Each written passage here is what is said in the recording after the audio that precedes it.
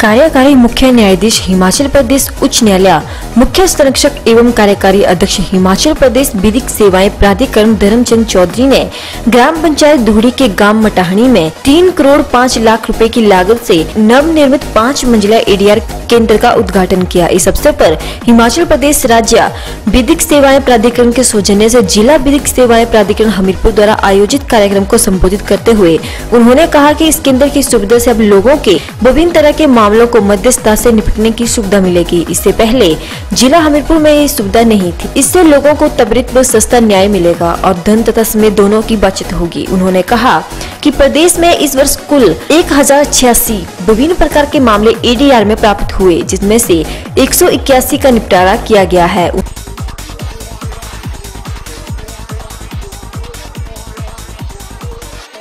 उन्होंने कहा कि हिमाचल प्रदेश में 11 एडीआर केंद्रों का निर्माण किया जा रहा है, जिसमें से सात केंद्र बनाए जा चुके हैं तथा चार अन्य केंद्रों का निर्माण किया जाएगा। उन्होंने कहा, प्रदेश में नए कोर्ट खोलने के लिए भी प्रदेश सरकार में मामला उठाया गया है। दो अक्टूबर से प्रदेश में तीन नए कोर्ट केवल महिलाओं की सुविधा के लिए खोले जा रहे हैं, जहाँ पर महिला उत्पीड़न से संबंधित मामलों का ही निपटारा किया जाए। लोगों का न्याय प्रणाली में अधिक विश्वास बना रहे, इसके लिए वे प्रयासरत हैं। एडीआर केंद्रों के निर्माण का मुख्य उद्देश्य लोगों को त्वरित व सस्ता न्याय दिलाना है ताकि कोई भी न्याय से वंचित न रहे। इस अवसर पर वीरेंद्र सिंह रजिस्ट्रार जनरल हिमाचल, उच्च न्यायालय यशवंत सिंह चौगल प्रधान, सचिव कानून प्रेम पाल रांटा सदस्य सचिव हिमाचल प्रदेश, राज्य विधिक सेवाएँ प्राधिकरण, जिला एवं सत्र न्यायाधीश राकेश केतला तथा जिला बार एसोसिएशन के प्रधान नरेश जसवाल ने विधिक सेवाएँ प्राधिकरण के अंतर्गत विभिन्न कानूनी पहलुओं की विस्तार से जानकारी दी।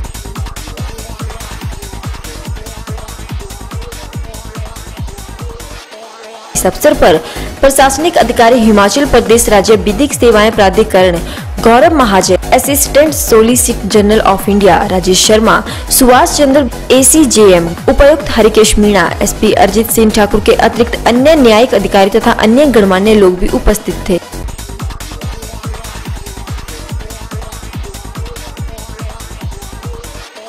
हिमाचल प्रदेश मेडिकल ऑफिसर संघ ने एक प्रेस नोट जारी करते हुए सरकार से गुजारिश करी है कि स्वास्थ्य विभाग में किसी भी तरह का सेवा विस्तार किसी को भी न दिया जाए, क्योंकि इससे हर उस योग्य व्यक्ति के सपनों में एक रोक लग जाती है जो कि उस विभाग में काम कर रहा होता है और बड़े ही अरमानों से उस दिन का इंतज़ार कर रहा होता है कि जब उसकी प्रमोशन होनी होती है।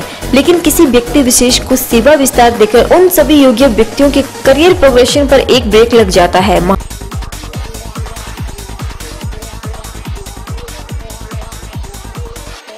महासचिव डॉक्टर पुष्पेंद्र वर्मा ने कहा कि संघ सरकार से करबद्ध निवेदन करता है कि मेडिकल कॉलेजों में भी सेवानिवृत्ति की आयु पैंसठ से अड़सठ वर्ष न की जाए, क्योंकि बहुत सारे नौजवान युवा डॉक्टर डीपीएस के द्वारा अपनी तरक्की की राह देख रहे हैं, क्योंकि सेवानिवृत्त आयु बढ़ाना कोई समस्या का समाधान नहीं है। जब अड़सठ में ये सब रिटायर होंगे, तब भी तो फैकल्टी की कमी वैसे की वैसे ही मुँह खोले खड़ी होगी। इसलिए संघ ने गुजारिश की है कि सेवानिवृत्त की आयु बढ़ाने की बजाय नौजवान युवा डॉक्टरों की डीपीएस में वक्त तरीके से और सपनों के अनुसार करके नए लोगों को आगे बढ़ने का मौका दिया जाए।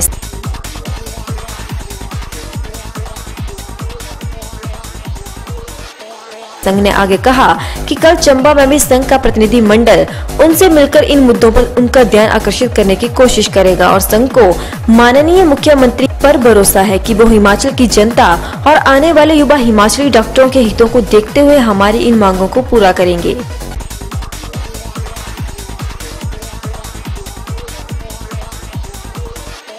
मंडी पुलिस विभाग ने नशा तस्करों पर शिकंजा कसना शुरू कर दिया है। एसपी मंडी के निर्देशानुसार क्यूआरटी और सदर पुलिस थाना की टीम सदर क्षेत्र में समय समय पर गश्त करती रहती है। वहीं गुप्त सूचना के आधार पर सदर थाना की क्यूआर टीम ने मंडी शहर के साथ लगते तलियाहड़ क्षेत्र में एक करियाने की दुकान से छापेमारी के दौरान अवैध शराब की खेप बरामद की है।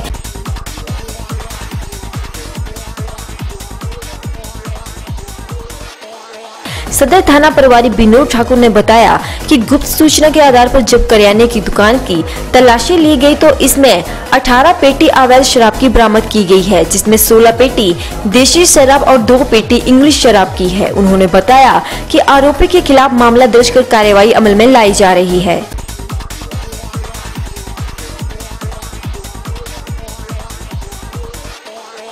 चंबा पुलिस का नशे के सौदागरों पर नकेल कसने का अभियान पूरे जोरों पर है। जिला चंबा में पुलिस को नशे के खिलाफ चलाए अपने अभियान में लगातार सफलता मिल रही है। पुलिस ने अपने इस अभियान में चरस की एक खेप को पकड़ने में सफलता हासिल की है। State narcotics crime control bureau Dharamshala की टीम ने शाम को 702 ग्राम चरस सहित दो व्यक्तियों को दबोचा है। पुलिस टीम को ये सफलता बालू पुल पर लगाए नाके के दौरान मिली। इस दौरान पुलिस ने दो लोगों की शक के आधार पर तलाशी ली तो उसके पास से 702 ग्राम चरस बरामद हुई। आरोपी पंजाब और लुधियाना के रहने वाले हैं। पुलिस ने चर्च की केव के साथ आरोपी को गिरफ़्तार कर लिया है।